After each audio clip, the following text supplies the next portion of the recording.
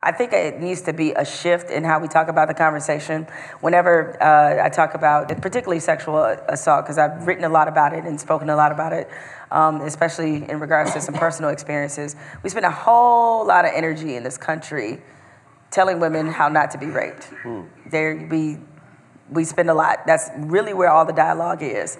We spend no conversation telling boys, men, stop raping people, mm. right? Wow. okay. None. So, to that being said, is that we spend a lot of times asking black people how to solve racism.